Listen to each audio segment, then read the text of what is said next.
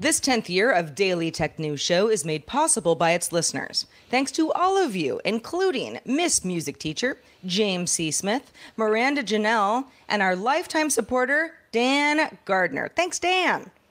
On this episode of DTNS, X gets Apple App Store support. Parents are wondering where their screen time settings went. And do you really know who you're emailing? Government defense departments around the world say no, not really.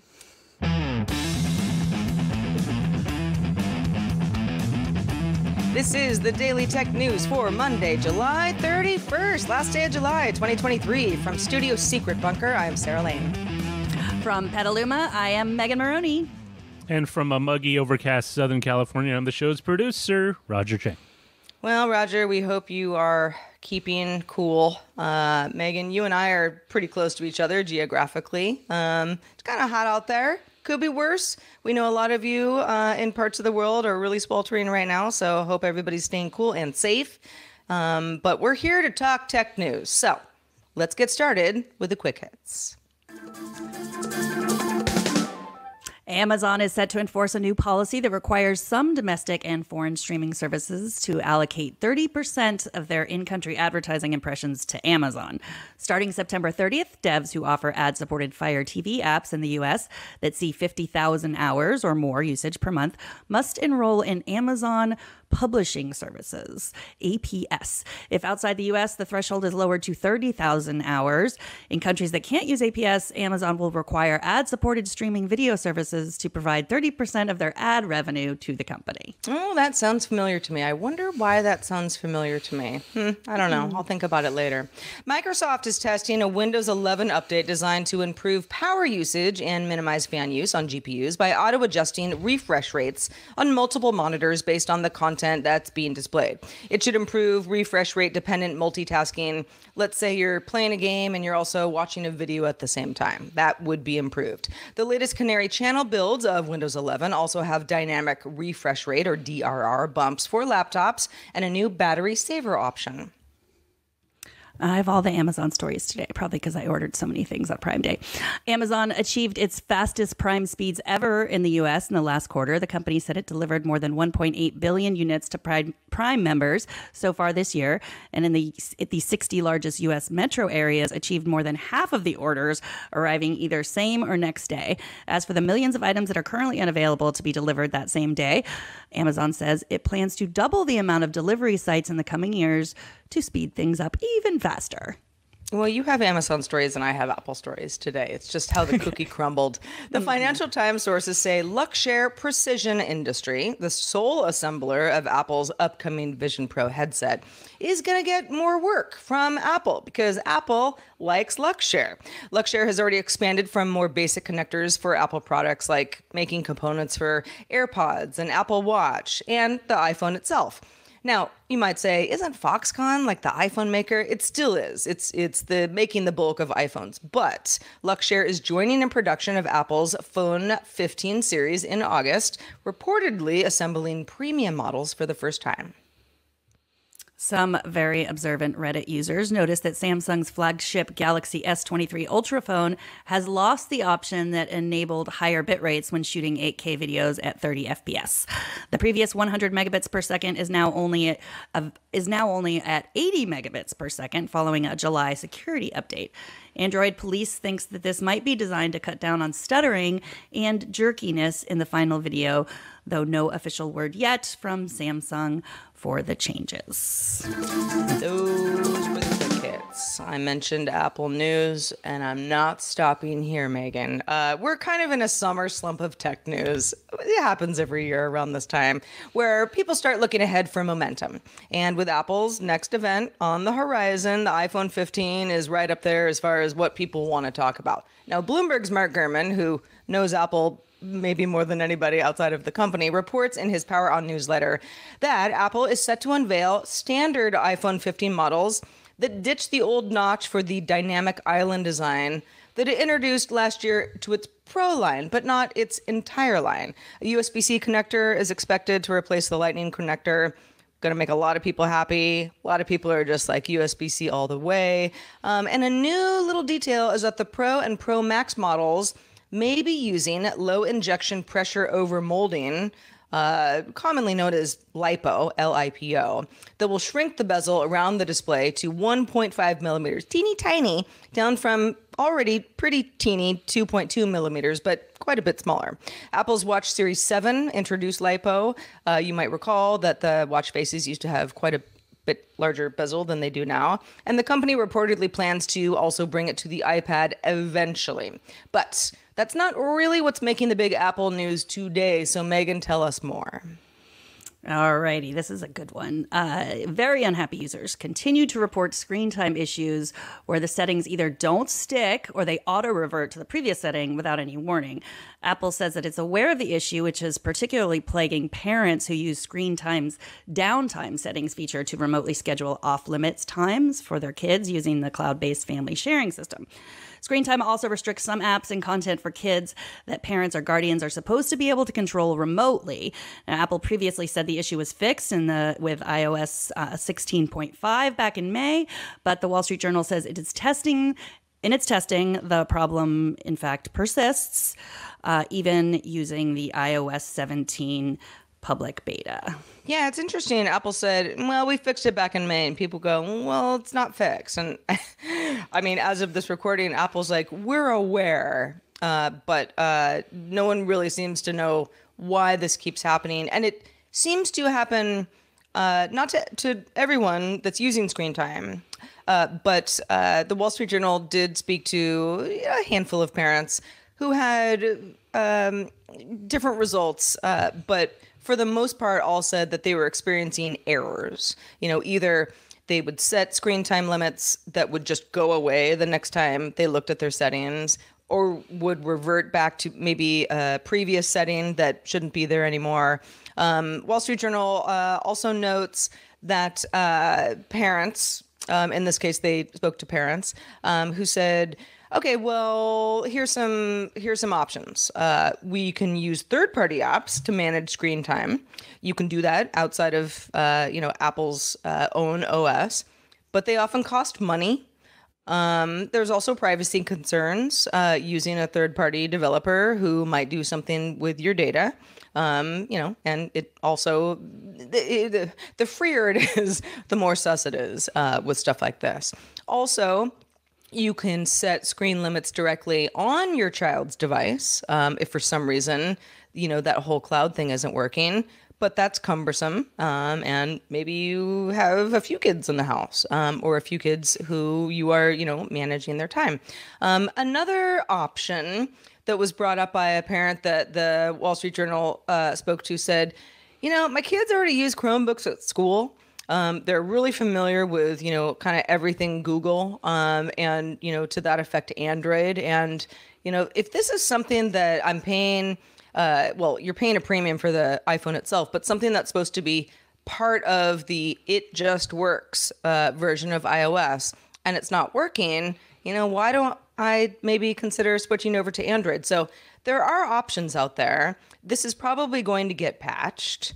Um, but it's uh, a con- inconvenience at best, and you know per- perhaps a lot worse. You know, if a kid ends up getting access to some sort of website that would have been blocked, you know, for children otherwise, kind of thing. Megan, I know your kids are uh, old enough to probably manage their own screen time at this point, but what were the sort of things that you dealt with when they were younger? Uh, well, so this didn't exist back in my day. Right. Uh, and it was uh, just kind of a free for all. Like I did, I did know people who tried those third party apps, and you know, with mixed results. Um, and sometimes they really just took advantage of parents' fear and charged a whole bunch of money for something that like sometimes Right, worked right. and sometimes didn't. Um, and yeah, I mean, I don't know. I mean, my kids, I set my own screen time limits now, and my kids do too, just for themselves. You know, like we're, we all are similar. And it's like, oh, yeah, well, if I spend more than 30 minutes on TikTok a day, then I probably um, am, you know, doing something wrong with my life. So, like, it's nice to have those. And that's the thing about this. They all work if you're setting them yourself. But, like, these are people that, like, why don't they have access to their kid's phone? Why are they doing it remotely? I don't understand. Um, as a parent of 20 and 18 year olds, I am, uh, I am allowed to judge judge other parents, which I will do now.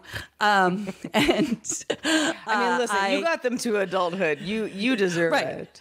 They are they were all alive as before I started this podcast. They were making toast in the toaster oven. So, um, by themselves. Uh, some of the people in the Wall Street Journal article were setting um, screen time limits for 16 and 15 year olds. And I feel like at that age, they got to be handling this themselves. Like it's I I feel like that's a little odd to be like remotely setting, you know, uh, screen time settings on your 16 year old's iPhone. I mean, I just Yeah. want to admit I am judging um, because at some point they're going to just have to figure it out themselves. But um, yeah, I don't know. I mean, and then in terms of like, yes, it's terrible if some if you tried to block a website and your kids get to it, but like that's the other thing I learned about parenting. Like, just assume your kid is going to get access to all those things. Assume they're going to see porn by the age of twelve and talk to them about it. You know, just like you have to you have to just assume the worst and talk talk talk to them about it. Um, my kids, Right. if you ever talk to them, will tell you that like I I talk to them too much about these things. But yeah, so I don't know. I have one more thing to say on this. The article uh, said this is my favorite line in the article. It says this can go unnoticed for days or weeks. And kids don't always report back when they get extra time for games and social media. Yeah, no And kidding. It's like, yeah, they never report back. Yeah. So, yeah. Th- I was trying thoughts. to, you know, when you were saying in my day we didn't have things like this. Um, I don't have children, uh, but I was one once, and I will say anything that I could get away with, I would. Um, so I don't think the kid, the youth of today, is all that different. And the only thing that I could really compare this to, because there weren't things like iPhones and screen time, was you know being grounded. You know, I would get in trouble for something, and I wouldn't be able to go to so and so's slumber party type thing um, which sucked. And, you know, it was punishment. Um, but it does sound like, you know, in many cases, the screen time thing is like it's for your own good. It's not like I'm taking your privs away. It's just you're not supposed to be on, you know, I don't know, TikTok, for example, more than, you know, this amount of time. And so let's limit it for, you know, everybody's peace of mind. And if that's not working, I can see where their frustration is coming from. All right, let's talk about top level domains, Megan. Uh, the .mil and .ml domain mixeroo continues. Uh, you might recall we told you a few weeks ago how members of the U.S. military were accidentally se- sending potentially, not always, but potentially sensitive documents to email addresses associated with the African country of Mali, which is .ml rather than .mil for the US military. Yeah, you know, if you're typing fast, it could happen. British authorities have launched their own investigation now after officials from the UK Ministry of Defense mistakenly also sent emails meant for US military intelligence to the government in Mali. The Ministry of Defense said Friday they were investigating the incident and also said, quote, "We have opened an investigation after a small number of emails were mistakenly forwarded to an incorrect email domain." End quote. Yeah, that's pretty much what you did. So, Megan, like I said, happens to the best of us, but one might wonder how something like, you know, just regular old email addresses being used for sensitive documents from defense departments um, to the country of Mali, which, uh, depending on you know where you fall in the political scope, uh, might not be the best place for sensitive documents from the U.S. or the UK to end up. Do you have a suggestion for an alternative? uh, don't use email maybe i mean that's what seems weird to me like if it's really sensitive documents i mean you can't if you send something to the wrong place it's going to get to the wrong place whether it's encrypted or not right Um, I, su- I suppose, yeah. I mean, yeah. I, I I guess the alternatives to email are vast. I always sort of expect that you know, it, you know, I'm not so sure about the what's going on in the UK, but I I I always assume that you know the Department of Defense in the U.S. has all sorts of apps that the rest of us haven't heard of, and probably because I've watched too many spy movies. But yeah, the whole kind of like, oh, whoops, I did it again. I sent something to Molly instead of you know my colleague uh, is is it surprises me sort of. Roger, were you going to say something? I was going to say that it's uh, one of those things where a why are they using email? And I understand that there is still a place for it, um, B, I'm wondering if this is so frequent enough if the the U.S. military has considered changing domain names to like just .gov.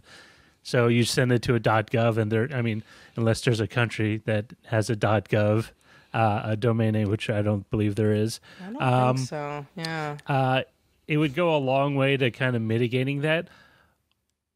Also, it just shows you how how much time has passed since um, uh, infor- information technology or, or, or communications have have not been altered. I mean, if you think about it, email's been around since the the, the late seventies, right? So you're going uh, forty years, right? Even the phone system changed up at that point. You got a couple of new zip codes, and now you had to punch a one every time you wanted to dial internationally, you know, for a country code uh, for the U.S.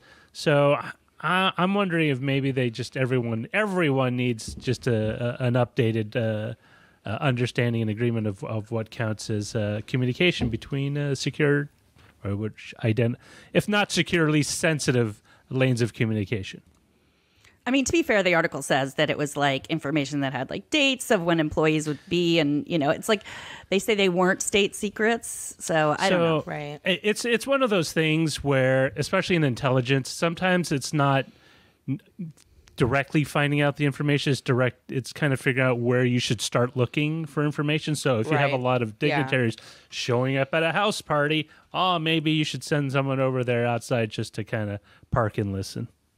Well, the, or the funny just or just sort of knowing, you know, if someone sends sends information that's not classified to someone else, well, now you know who those people are who are communicating with one another, you know, and there's some context there. And and to, and, and to stress the point, the the the MOD, the Ministry of Defense in the UK, did say that there were no of that was less than twenty times that this has happened, according to their knowledge right now, uh, and maybe some hype, you know, sensitive information regarding uh, missile uh, technology, but. For the most part, it's just you know, I mean, it's a small, small a bit. It's probably very, probably in the single digit percentage mistakes, but you know, it's just the what they used to say in World War II: loose lips sink ships. So it just takes one, takes one. I actually didn't know that that was a World War II thing. I just hear it all the time. Loose lips sink I know what it means, but I never knew the origin. How about that? And it it came with like a, a poster of like a woman. It was a little bit sexist, if I recall, too. Like it was like, you know, don't talk to oh, right. Yeah. women. Yeah. Don't tell her your secret. Mm-hmm. You know, Yes. you're gonna lose. She's not your wife. Don't talk to her. It was basically it. Yeah, boy. exactly. Yeah. Well, if, if you have thoughts on anything that we have talked about on the show thus far, or might talk about on a future show, uh, one way that you can let your voice heard of what we should talk about is our subreddit. Submit stories and vote on stories at dailytechnewsshow.reddit.com. It's where we get a lot of information, so thank you in advance. I was going to sing this like Salt-N-Pepa, but I lost my nerve. Uh, so I'm just going to say, let's talk about X, baby. Get it? You get it. I do get it. Thank you. Thank you, Megan. Uh, I made another terrible X joke last week, so I'm just going to keep the streak going. Uh, there's another nail in the coffin of the old Bluebird app today. Apple has officially allowed the company formerly known as Twitter to change its name to X in the App Store. And you might say, is that so weird? Uh, Apple's actually one of the last to allow Twitter to change its name in Apple's system UI because Apple typically doesn't allow apps to use just a single character because companies aren't really ever named that. So it could be confusing or just, you know, doesn't make a lot of sense based on your company name. The tagline in the iOS App Store also been changed from it's what's happening, that was Twitter's previous App Store slogan, to blaze your glory, which is apparently something that Elon Musk posted on X last night. I mean, he did. Uh, I, I have seen the tweets myself, and they still are called tweets until I'm told otherwise. All right? I'm holding on to the bird. So, uh, yeah, uh, I don't know, Megan. Uh, Well, there's a lot, a lot of a lot to unpack here, and I have two important questions that we need to have answered by the end of the show, or else. Okay. Um, one is, uh, what does he mean by "blaze your glory"? And also, um, you and I, which uh, apps are we going to invent that have one letter? Since now it's like we can't, you know, It's like just- it's like well, we Yeah. have I don't know. I mean, if we're using you know the English alphabet, we got twenty five more options.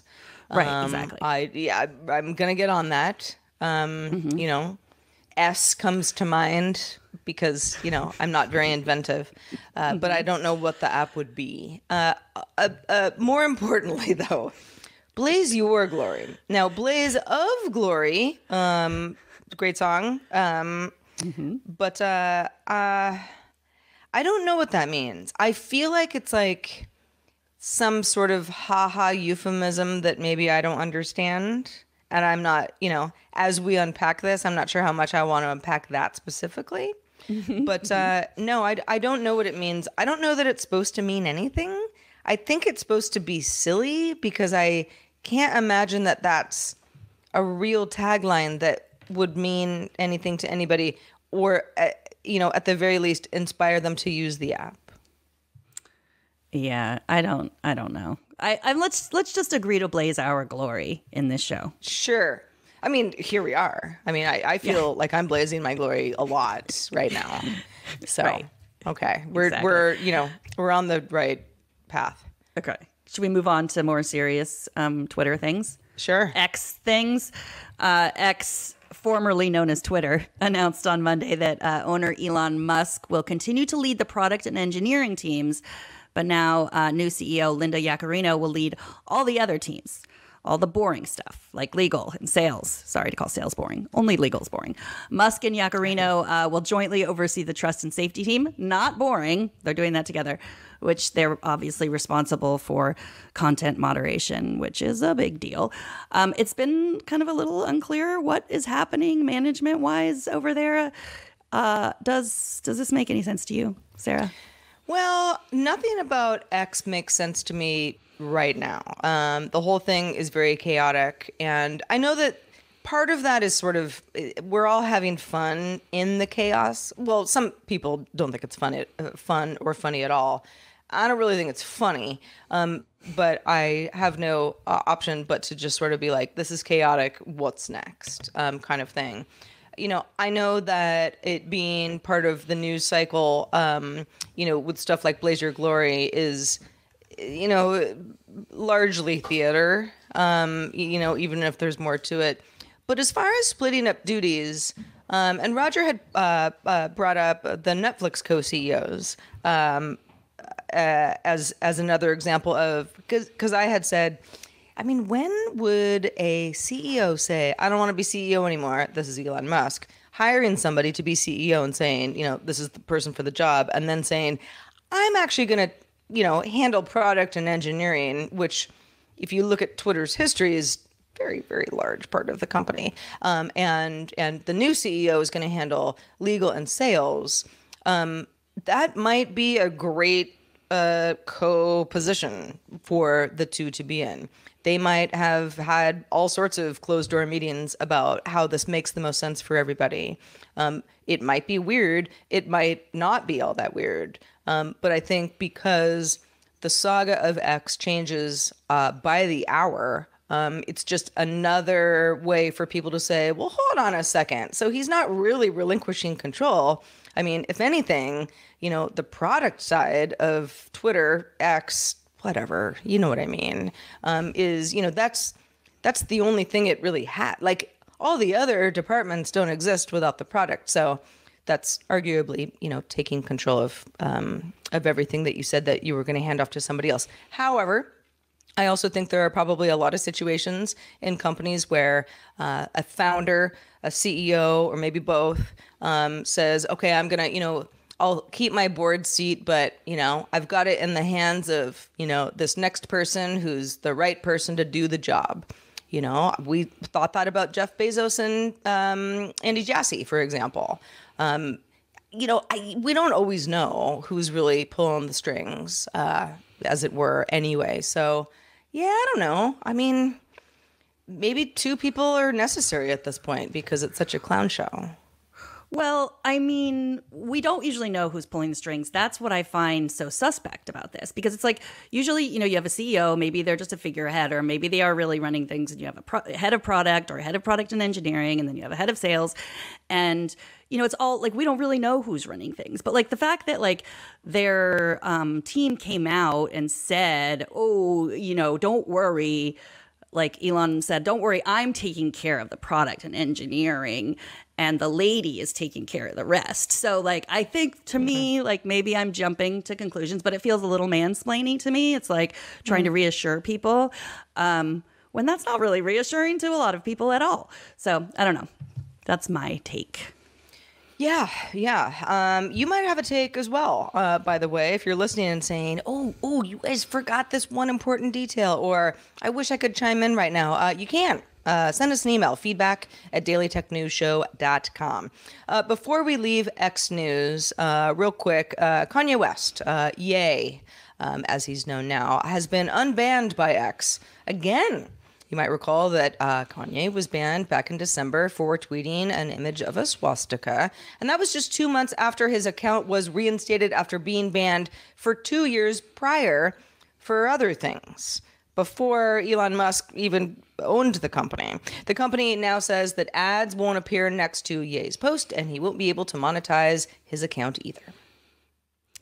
James Mann wrote in to give us a heads up about a robot stealing his job. I am sorry, James. According to a new, uh, a local news site in Gahanna, that's a city in Ohio near Columbus, I think, or maybe it's a mm-hmm. neighborhood in Columbus. Not sure.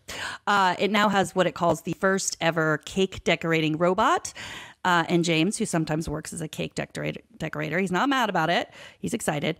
Uh, BeeHex is a 3D printing company that has been contracted by NASA and the U.S. Army to install a free on-demand cake writing machine at a Kroger's grocery store. Uh, but make your way to Ohio quick if you want a cake decorated by this robot. It's only going to be there for another month. Oh, James. Um, I, I love how James is like, listen, uh, I sometimes do decorate cakes, and if the robot is that good at it, uh, watch out, cake decorators. I mean, it's a little tongue in cheek, but also not, right? This is a you know a very specialized job. Not a lot of people are good at this specific job. So if you got a robot who's like the best cake maker ever, oof, you know, tough times. Mm-hmm. Mm-hmm. Really. It's so true. Yeah. Um, is it time to check out the mailbag? Sure. Let's do it. Uh, Frank wrote in about our Apple versus Google Maps convo. I think the last time I was on the show last Monday, we also had someone else. This is such a popular topic, and we're not going to solve this Apple versus Google problem today. But Frank says, I think both Apple and Google Maps work now. I prefer Apple Maps Street View because it shows the compass direction you're viewing. Google does not and has always made it difficult to move the direction I want. Uh, I'm now retired, but was a truck driver. The information over the last dec- decade has been wonderful, especially when it comes to online security. A lot of what you talk about is above my level, but that a lot of it has been valuable. Oh, Frank, thank you for the email. And thanks for letting us know that Apple Maps is working for you. Um, you know, driving a truck, I would think that uh, the right Maps app is of utmost importance um, rather than the casual user. So, yeah, good, good stuff. Uh, and a reminder uh, if you do have feedback, we want to hear it. Feedback at dailytechnewsshow.com. Hey, patrons. You're going to want to stick around for the extended show, Good Day Internet, because it's just a fun show, but also because we're going to be talking about a new e bike, sort of. This is Super 73's new electric balance bike which claims that riders don't need licenses, don't need registration, or and don't need insurance to ride them, and they go pretty fast. What could possibly go wrong?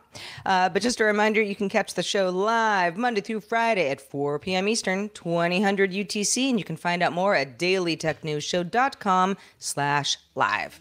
We will be back doing it all again tomorrow with a foldable phone head to head between Samsung and Motorola with Ayaz Akhtar joining us. Don't miss it.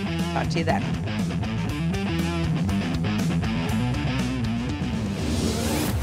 This show is part of the Frog Pants Network. Get more at frogpants.com.